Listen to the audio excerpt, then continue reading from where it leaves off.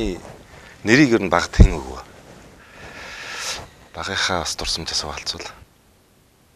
Манай ээж л их сонирхолтой юм ярьдаг шүү дээ. Аа манай ээж яах одоо миний бол нагаз ах баярмаг нэг юм байдаг. Тэгээд танах чиг сониун шүү.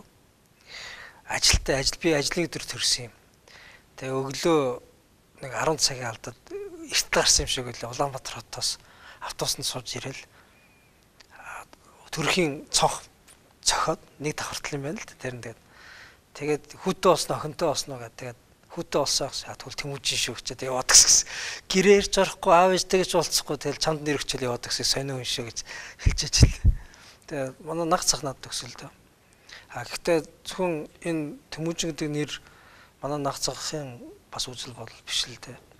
Манай гэр бүл ерөнхийдөө тийм үндэсний тийм бахархалтай гэр бүл байдаг шүү дээ. Ерөнхийдөө нөгөө Монголын уламжлал соёл нөгөөтэйгөр бас нэг үндэс усаага тээж авч байгаа тийм л нэг гэр бүл зүгээр яг хуучин нийгмийн үед л жоохон гадуурхтай язуурт нэл гэр бүл л дээ.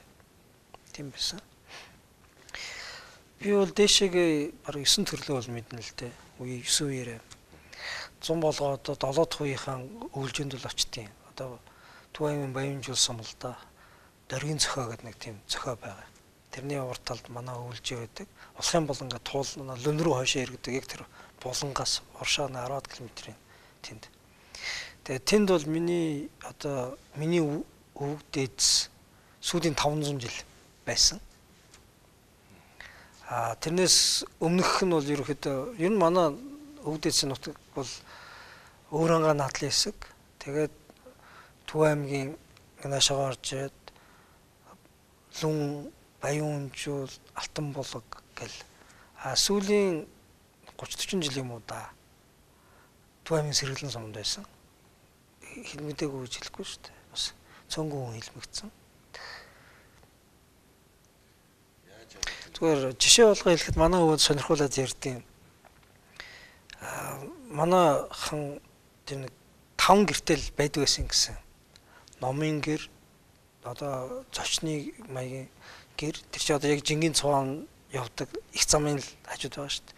Тэгээд тамгын гэр, тэгээд хоолны гэр, тэгээд бас нэг өөр бас бас юм уу да юм нэг таван гэртэй байдаг гэсэн л гэж ярьдаг байсан. Тэгээд сонирхуулаад над ярьж ирсэн. Манай номын гэрт байсан номуудыг хураагаад жалган давж шатаад 3 хоног шатсан ингээ шоголтой ингээ зузаан ном бол гол нь шатахгүй оройн очиод задлаал ингээл тгий шатаадаг байсан гэж ярьдаг гэсэн. Тэгэхээр их л бас тийм ном хуртал байсан юм шиг л. Одоо танаа өвдөцөөс бас танд яг уламжлуулж одоо бас өгсөн, үлдээсэн тийм одоо бас дурсамжтай зүйлүүд байдаг. Гэхдээ яг ойр зур юмнууд байдаг. Гэхдээ яг социализм үед би бүр хамгийн сүүлийнх нь хүүхд тогтоо хүртэл сандгийн. Биднээс нэг адуун малтай хөцөлтөд тэр чинь нөгөө манай өвөө мөр үед ингээд бөөнөрөөс сунгаанд яваад Тэгээд ирсэн чи манай эмээ тэр үед байсан ингээд мөнгө аагаар ширээ гэд бас олон юм байсан юм уу? Хотоос төөс мүзийн хүн гэж хэлээд ирээд аваа авчлаа гэд. Өвөө чи хинд юугээ явуулчих гээл тэр үед ингээд бужигнаад би гэхэд ойлгохгүй. Албаны хүн ирээл аваа авчиж байгаа юм байна гэж ойлгодог байсан тэгэл. Тэгээ дараа хожим автор нь тэнд харагдаж जैन тэнд байгаа гэж сураг сонсож байгаа гэх хэмчлэн дэл сул юм ярьдаг. Тэгээд ер нь бол олон жил ингээл олон зүйлийг л нийт төсөл гаргасан алдсан л та. Тэгээ адууч сайтай адигийн бор гээд алдартай хурдтай бас сайн адуутай тийм л. Би бас яг Төв аймгийн нэг нутгийн бас нэг худлаа ярихааргүй хүн л хэлж ирсэн. Энэ Тэмүүжин одоо ер нь яг л өвөтэйгөх адилхан байгаа юм да. Ер нь одоо өөрийнх нь тэр зан байдал нь яг байгаа байдал нь үг хэлнэ өвөтэйгөх адилхан гэж хэлж ирсэн. Ер нь энэ хэр ортой юм бол өөтөөгөө ер нь хэр ойрхон байв. Танд яг сургаж илжсэн одоо өөрөө үлдсэн баримталж яадаг, санаж яадаг тийм одоо зүйлүүд юу байдаг юм бэ?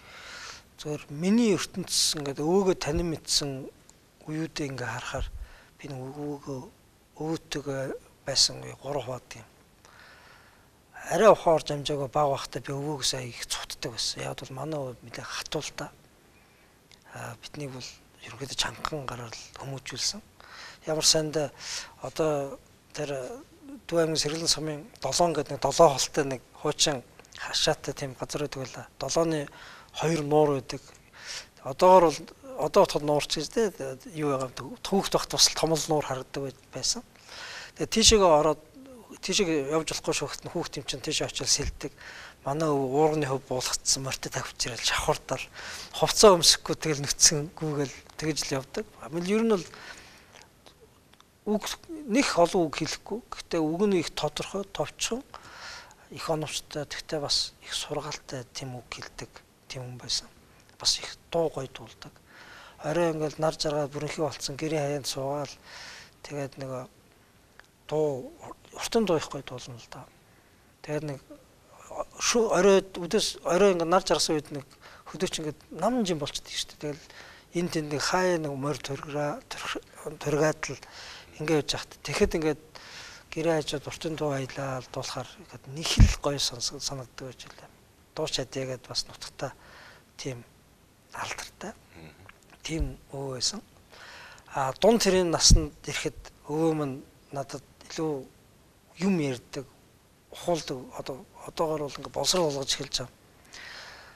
Дил сул ярихгүй байх. Одоо маш олон зүйлийг надад бас заа зөөлсөн дөө ямар сайндал манад өвд мань одоо ч манад байгаа л да Монголын нус товчоог бүх хэвлэлт байдаг байсан.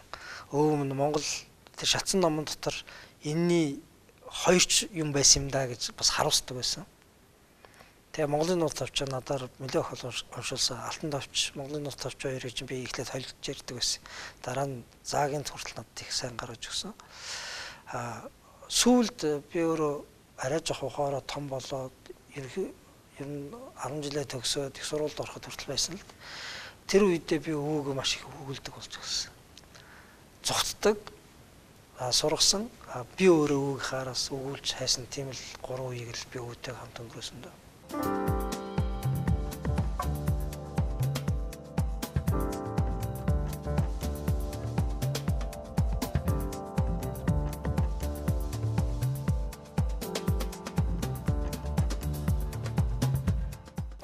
Хуульч мэрэгжлийг ер нь дурлаж орвоо яаж яваад энэ хуульч мэрэгжил хуульцсан боловсролтыг эзэмшив. Хуульч энэ бол цэвэр яг ухамсартай сонголт. Өмнө нь бол би бусдын сонголтоор л амьдэрчээсэн. Түүнийгээ бол би өөрөө сонгож байгаа гэж боддог л тийм байсан баг. 10 жилд байхад зураг чи их авьяастай чи зураг зураач болон шүү. Чи зураг зурдаг их мундаг хүүхд гэж хэлдэг. Нөгөө янз бүрийн юм дээр талбай дээр хүртэл зураг зурхад оролцдог тийм итгэвтэй хүүхд байсан. Шуум зураг олимпиад хүртэл төрүүлж ялла шүү дээ би болсон хэмжээнд.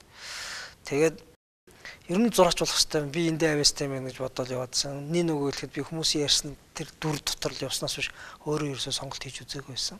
Хожим бол надад маш сайн түлхэж зөксөн нэг хүний ярианы үндсэн дээр би өөрөө хуульч мэрэгчлэг сонгосон. Манай нэг ахын найз Гэхдээ тэр герман хүн нэг хөөлч. Чи ямар чиглэлээр суралцж байгааг асуухт нь би одоо ингээд архитекторч болох гэж байгаа маа нэг юм юм сурж байгаа маа гэж хэлсэн чинь чи бид тэр ойрхолцоо мэрэгжилтэй юм гэж хэлэхгүй. Тэгэхээр би тэр үнийг бол их төсөөр мэрэгжилтэй гэдэг нь эхлээ мэдчихсэн. Ягаад бид тэр ойр мэрэгжилтэй гэсэн чинь чи бол ингээд хүмүүсийн амьдрах тэр байшин зурдаг. Гэхдээ бол би бол тэр хүмүүсийн нүдэнд харагддаг бас тийм байшин зурдаг. Тэр байшин маань одоо энэ хуулийн шудрагсны байшин байт юм а гэсэн тийм утгатай яриа яриад цаасан дээр зураг зурах амьдралд хүний нүдэнд харагдахгүй гэхдээ шудрагсны тэр байшин зурх хоёр бол үнэхээр ялгаатай юм байна гэдгийг бол өөрөө ойлгосон л доо. Тэгээд хүн өөрөө үзэл бодлороо итгэл үнэмшлээрээ өөрийн сэтгэлийн хатаараа нийгэмд тэг ингээд байшин бий болгоно. Тэгэхэд оролцсон тэр байшин энэ нийгэмд амьдарч байгаа хүн болгоны эрхчлөө, хүн болгоны аз жаргал таатай байшин байна гэдэг. Тэр яриаг энэ зүгээр германы хөлч нэг залуу ярьсан яриа шүү дээ. Тэр яриаг сонсоод ягаад ч юм би цаасан тэр байшин сурахаас илүүтэй тэр байшин барилцах хэрэгтэй хүн биш үү гэдэг бодол дотор төрөөл загтнуулаад хүсэл эрмэлзлийг нэг ингээд дотоос дотроос өдөөгөл тэгэл сонголтоо хийгээл хууль сурвалд орсон. Тэмүүжин яг эндээс л их урам зориг авсан байх гэж хувийнхаа би боддог байхгүй нэ. Эврикад нэг тийм нэг оюутнуудын эрдэм шинжилгээний хурлал болдог гэсэн Эврик хамгийн нэр үндэстэй. Ерөөсөө тэнд амжилтаа оролцсон гэдэг бол за тэгэл их бахархал нэгдүгээр курст орж ирээд би юу мэдэрсэн бэ гэхээр оюутны эрдэм шинжилгээний хурал болно гэдэг коридорт нэг зардал хатцсан байхгүй юу. Тэгээ энэ юу болд юм болоо гэж бодоод аа ягаад ч юм надад нэг хичээл дээр хийжсэн нэг ажил байсан. Жижигхэн ажил бар.